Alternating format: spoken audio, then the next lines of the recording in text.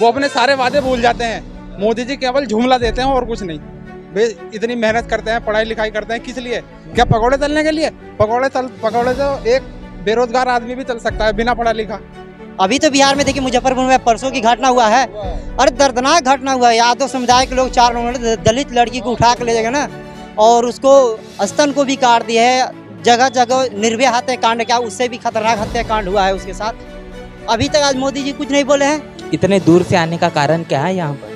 अब कारण अब घर बताएगा क्या कारण नहीं यहाँ पर आप जो आए हैं आने के लिए यही बाबा साहेब के हमको देखना है उनका जो है कि फ़र्क है कैसे क्या स्थिति था। हम लोग तो पहले देखे नहीं थे लेकिन देखने आए हैं कैसे माहौल है क्या चीज़ है इसके अंदर।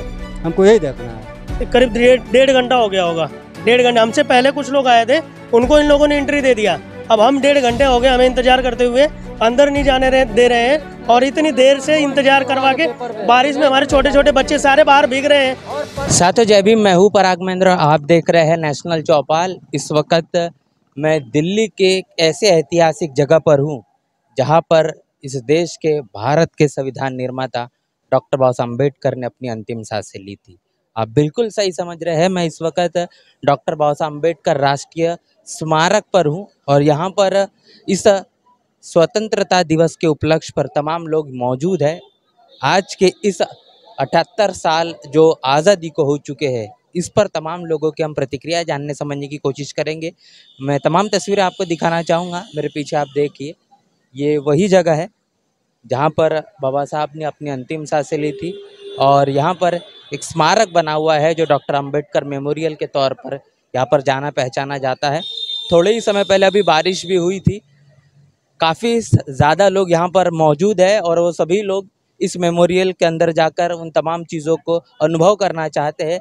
लेकिन प्रशासन, शासन जिस तरीके से यहाँ पर काम कर रहा है, ये बंद पड़ा हुआ है अंदर जाने की जो अनुमति है, वो बिल्कुल भी नहीं है।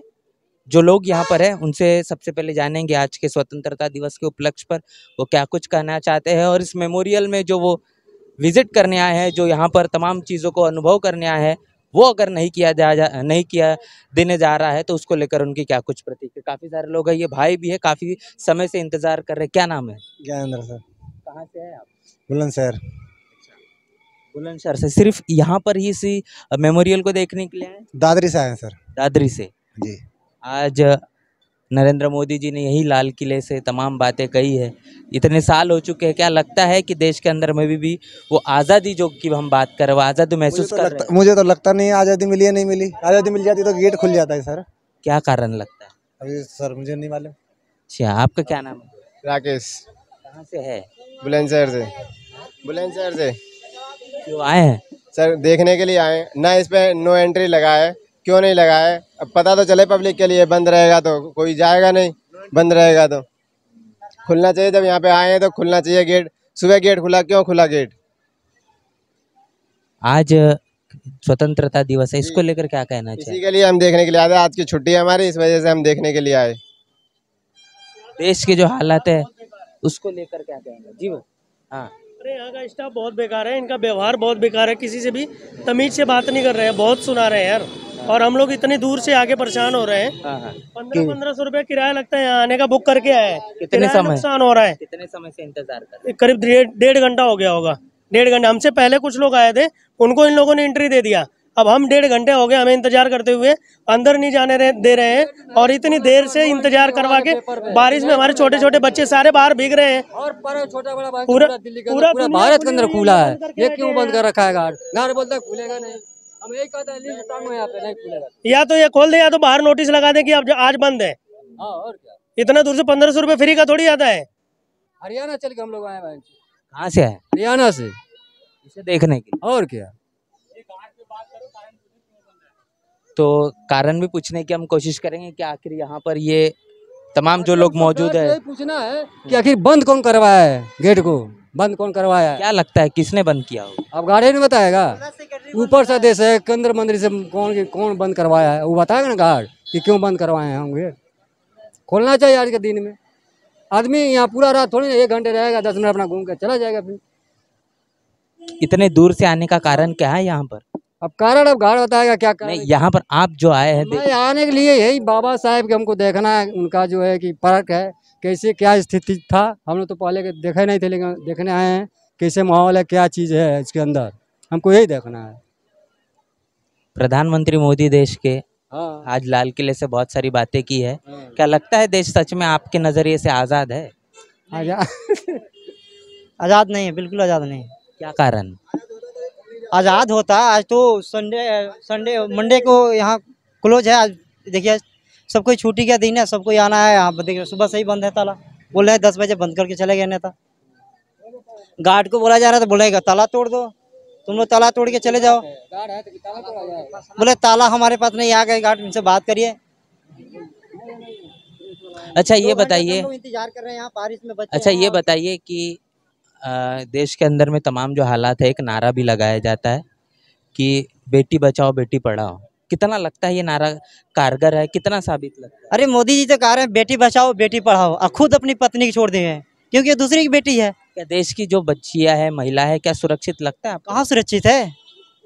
अभी तो बिहार में देखिए मुजफ्फरपुर में परसों की घटना हुआ है। अरे दर्दनाक घटना हुआ है। यादव समुदाय के लोग चार लोगों ने दलित लड़की को उठा के ले जाएगा ना और उसको स्तन को भी काट दिया है। जगह जगह निर्भय हत्याकांड क्या उससे भी खतरनाक हत्याकांड हुआ है उसके साथ? अभी तक आज मोदी जी कुछ नहीं बोले हैं। भाई सोमवार की घटना है। आज के चैनल में क्या मोदी जी बोले लेडीजों के बोलेंगे ये है वो है बट कुछ नहीं दे। मोदी जी कह रहे हैं स्वर्णिम काल है देश में चल रहा है। अरे ये अमृत काल है बोल रहे हैं। अमृत काल क्या है? अमृत काल बोल रहे हैं। सच में आपको लगता है ये अमृत काल है? कहाँ से अमृत काल है? किसको अमृत काल मिला है? अभी हमारे ओलंपिक मेडल जीतने वाली इसको एक दिन में तीन तीन मैच जीत ली। उसको रात का उसका वेट उनचास के जी था उनचास विनेश फोगाट। हाँ विनेश फोगाट को। और सुबह उसको बावन के जी बता दिया। कैसे हो गया? इसका भी राजनीतिक कारण है। इसका भी राजनीतिक कारण हाँ। इसका भी राजनीतिक कारण है। उसी इसलिए उसको बाहर कर दिया गया। बहुत सारे ये लोग राजनीतिक चाल चल रहे हैं कि छोटे के दबे कचले लोगों को ऊपर उठाना ही नहीं चाहते हैं। ईडब्ल्यू एस वो लोगों को दे दिए पाँच परसेंट दस परसेंट आरक्षण और हमारे आरक्षण को भी काटा जा रहा है। S C S T reservation में वर्गीकरण। हाँ वर्गीकरण क्लासिफिकेशन कि कोटे में कोटा कितना सही लगता है? ये बिल्कुल गलत है इनका। क्यों गलत लग रहा है? ये गलत है इसलिए कि ये पी डब्ल्यू एस वालों को दे दिए दस परसेंट। हमारी आरक्षण का केवल काटा ही जा रहा है। क्या लगता है जो आरक्षण हमको देश में मिला है हैं वो पूरी तरीके से लागू हो पाया? नहीं लागू नहीं हो पाया। पूरी तरह से लागू कहाँ हो पाया? क्यों नहीं हुआ अभी तक? क्योंकि प्राइवेटाइजेशन प्राइवेटाइजेशन कर दिया जा रहा है। संपत्ति को भी जब बेच देंगे तो आरक्षण किसमें देंगे? तो देश में जो सरकारी चल रही है वो क्यों एस सी का जो है वो कहने की भला नहीं चाहती? भला तो हो ही नहीं रहा। नहीं वो क्यों नहीं चाहती भला? अरे वो चाह नहीं रहे कि छोटे दबे कुचले लोगों को ऊपर उठाने के उठ, उठा ही नहीं उठने ही नहीं दे रहे हैं लोग। आरक्षण आरक्षण चिल्ला रहे हैं। हम लोग कहाँ से आरक्षण में है? जितने पूंजीपति हैं सब वही हैं। हर चीज़ वही हैं। गार्ड से बर्बाद। चलिए। और भी और भी काफ़ी सारे लोग हैं। छोटे बच्चे भी यहाँ पर आए हुए हैं। जी कितने देर से वेट कर रहे हैं? देर तो छोड़ो आधा घंटा हुआ एक घंटा। मेन यह है बड़े साहस के साथ बड़ी इच्छा के साथ हम देखने के लिए आए थे। किसके किसके साथ आए? फैमिली भी लग रही है। आपकी फैमिली हाँ ये दो बच्चे हैं और हम भाई लोग हैं सब। लेकिन ये इन्होंने नोटिस कोई लगा नहीं रखा किस कारण बंद है? बाकी किराया विराया लगा के तो जो आए थे आए थे। अब परेशान है यहाँ। होना क्या नाम है आपका? विमल नाम है। कहाँ से आए हैं? यूपी बिजनौर। बिजनौर से यहाँ पर आए हाँ। जी। स्पेशल इसी को देखने हाँ स्पेशल इसी को देखने के लिए आए अच्छा एस सी के वर्गीकरण को लेकर कुछ पता है आपको जो आरक्षण में कोटे में कोटा? नहीं उसका कुछ नहीं पता। चलिए। बस फ़िलहाल ये अच्छा चलिए ये तो बात पता होगी आज आज स्वतंत्रता दिवस है ये तो आपको बताइए। बिल्कुल बिल्कुल। क्या लगता है कि देश में हम आज़ाद है आज भी पूरी तरीके से? आपके नज़रिए से। आज़ाद है। जो जो हक अधिकार बहुजन समाज को मिलने चाहिए थे क्या लगता है वो सब मिल पा रहे हैं? मिल पा रहे हैं सारे मिल पा रहे हैं बाकी आदमी को कुछ करना पड़ेगा तभी तो मिलेंगे। आपको लगता है बेरोजगारी खत्म हो गई देश से? अरे बेरोजगारी क्या खत्म होगी? जनसंख्या इतनी होगी तो रोज़गार मिलेगा कहाँ इतना जल्दी? अच्छा। क्या सच में आपको लगता है कि जनसंख्या बढ़ने के कारण बेरोजगारी खत्म नहीं हो पा रही? नहीं नहीं इसमें कहीं ना कहीं सरकार का सरकार की नाकामी है। सरकार अच्छे मुद्दे पे फैसला नहीं देती। सरकार तो कह रहे हैं, हम सब बेरोजगारी खत्म कर दिए। वो तो कह रहे कि पकौड़ा तरना, पंचर बनाना, ये सब रोज़गार है। तो पढ़े लिखे पढ़े लिखे लड़कों का ये काम है क्या? बताओ, पढ़े लिखे जनरेशन का ये काम है पकौड़े तलना उसको रोज़गार मिलना चाहिए, सरकार को रोज़गार देना ही चाहिए। वे इतनी मेहनत करते हैं, पढ़ाई लिखाई करते हैं, किस लिए? क्या पकौड़े तलने के लिए? पकौड़े तल, पकौड़े तो एक बेरोजगार आदमी भी चल सकता है, बिना पढ़ा लिखा। पढ़े लिखे बंदे को तो रोज़गार मिलना ही चाहिए। आज मोदी जी ने लाल किले से एक बात कही है कि हम एक लाख ऐसे युवाओं को बनाएँगे और जिनको राजनीति के अंदर लाएँगे।